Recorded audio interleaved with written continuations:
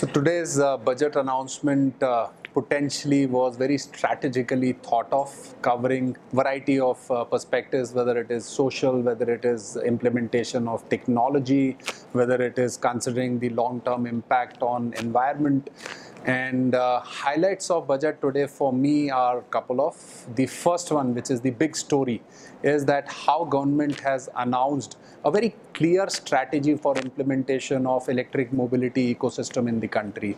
And some of the highlights are uh, uh, relaxation of duty on capital goods, uh, incentive on the products itself. So FAME was reiterated, and a lower GST rate on the products, and finally a motivation for consumers uh, income tax rebate if you take uh, a loan to buy an electric vehicle.